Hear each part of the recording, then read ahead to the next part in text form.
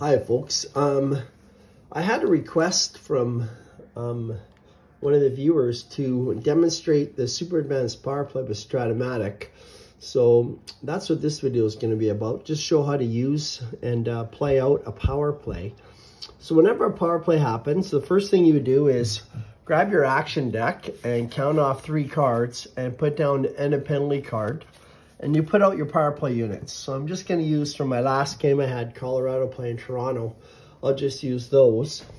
Uh, the first thing you do when you go to a face-off, you're going to add three to the power play team's face-off. So Landeskog is the best power face-off person in Colorado right now on the ice.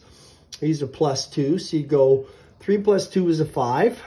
And for Toronto, their top guy is Matthews. So he's a plus three. So you're looking at a plus two on a face-off.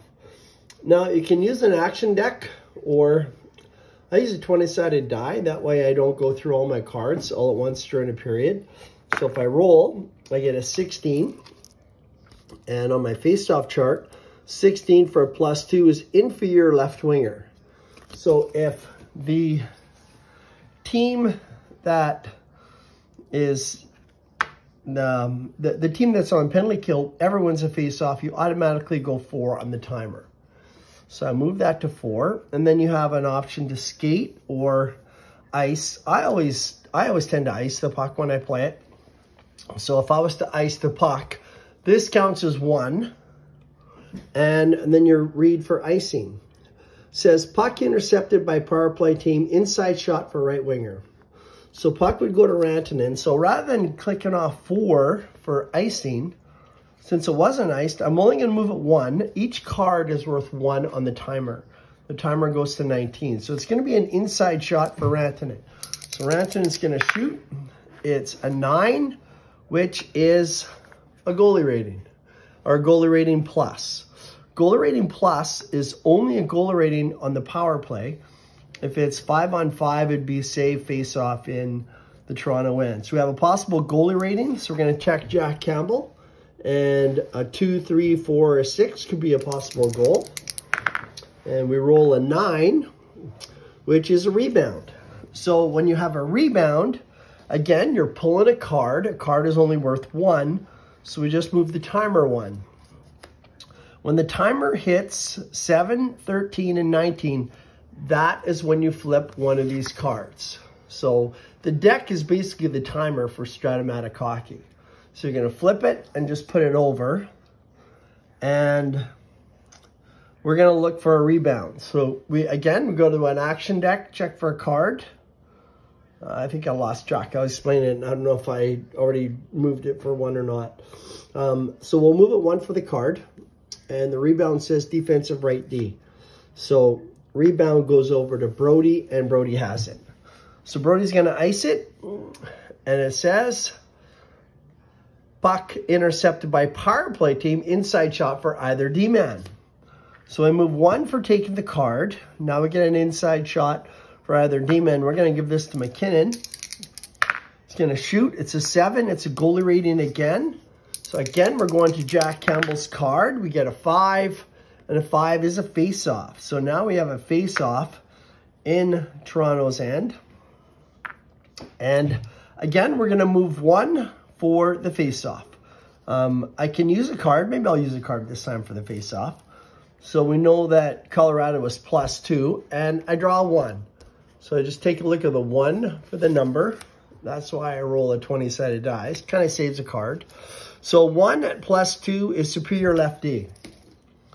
So now MacKinnon has the puck, and MacKinnon has a choice. He can penetrate, which would be 1 to 13, because he is a 4 and you'd have to check each of the things against penetration against a power play. So for a power play, if there are four, it's 1 to 13. If there are three penetration, it's 1 to 11. Two is 1 to 9. No, one is just a 7. So he can um, penetrate, pass, or shoot. If he was to pass, he would turn a card over it, and that would move the, the clicker. Um, I think he's going to penetrate. So it's going to be 1 to 13. Again, I'm gonna, I usually roll the die. I'm not going to. I'll, I'll do this just so I stay consistent, I guess. So 1 to 13 is going to deke for a power play, and it's an 8.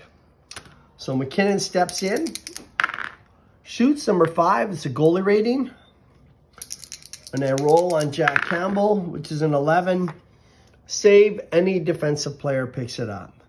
So it's going to go to anybody. We're going to give it to Marner. And for Marner, just for the sake of demonstration, I am going to skate. Marner is a 1 to 14. If I draw a 1, it is going to be a breakaway. Now again, when I play at home, I just use this. But we're going to use the cards for now. So we're drawing a card, so card is always worth 1. So 1 to 14, it's a 5. So it goes 1, 2, 3. Sorry, it would be a 3 for a skate, not, not 1 for drawing the card. So it's a 3 for a skate. And um, he's got it. He is going to skate again. So 1 to 14 would be successful. And it's a 12. So another successful skate. So 1, 2, 3. And let's see if we can... Let's, we're just going to ice it this time.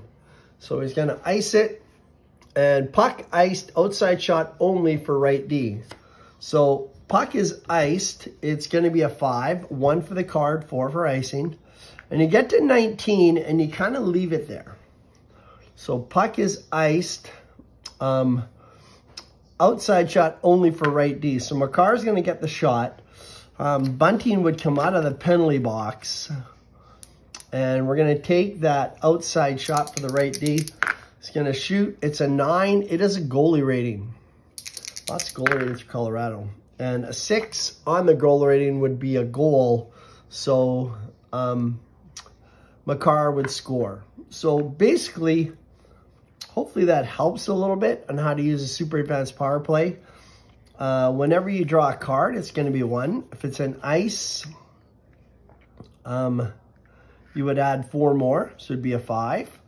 If you skate, it's going to be a one, two, three. Whenever you hit flip one or flip two, uh, you would flip a card. So I guess on 13, I should have flipped a card.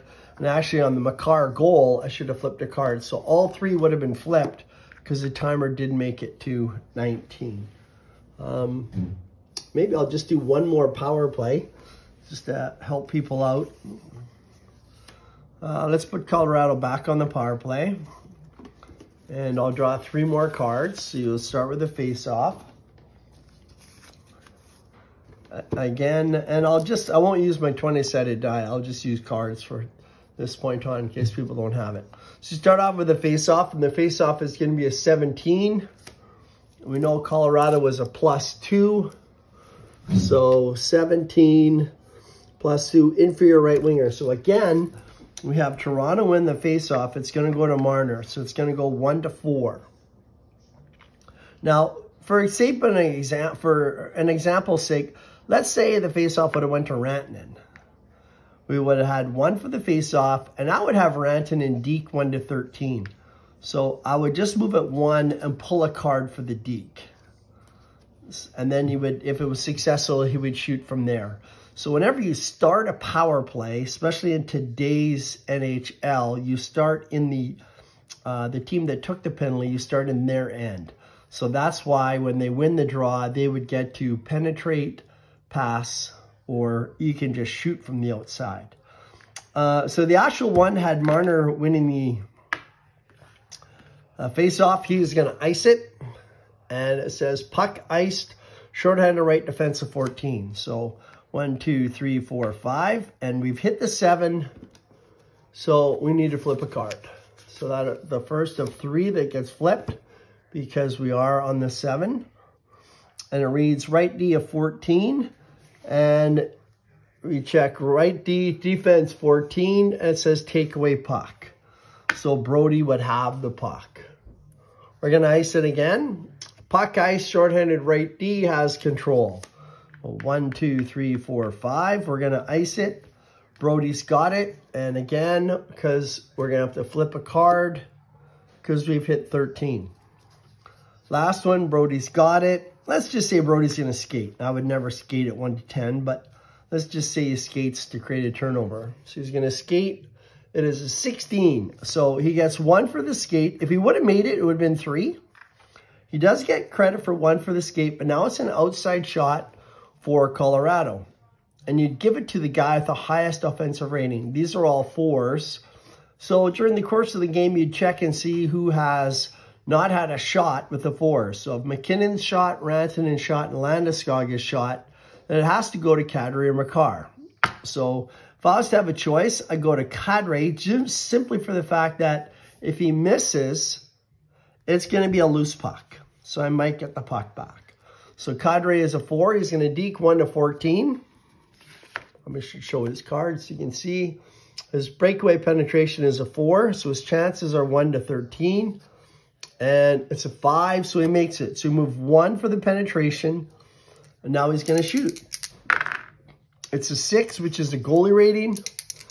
On Jack Campbell, we roll a 9, which is a rebound.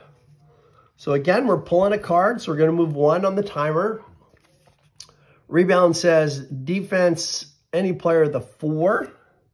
So it would go to either, um, oh, this is, this is, that. I'm glad that came up. Defense rating was a four. Uh, when you check for defense ratings, Matthews is a one on the PK. You use the number in the bracket. Morgan Rielly is a three. Brodie would be a four. Mitch Marner would be a four. So I can give it to Brodie or to Morgan Rielly. And I'll probably give it to, did it say any player? Um, yeah, we'll give it to, to Marner so he can skate. Um, I was going to say something. I forgot. I lost my train of thought. Yeah, so when you when you are playing Strat-O-Matic on the penalty kill, I'll always go with the best defensive players. So the four and on defense 12, 13, 14, it takes away. Even though their PK rating of 1 and a 3 is weak, rarely do those rebounds come up where you're looking for that number. It doesn't happen a whole lot. A lot of the times you're just icing all the time, and so that's what these cards would be more. So Marner has it, and he's going to skate 1 to 14. It's a 7. He would make it. 1, 2, 3 and he keeps the puck. We flip a card because we're on 19. So I'm hoping that helps. Uh, let me know if it doesn't or if I've maybe made things more muddled than what they were previously. But that is how you use the uh, Super Advanced Power Play for Strat-O-Matic. At least that's how I play the Super Advanced Power Play for Strat-O-Matic. Um, yeah, I hope that helps. Bye for now.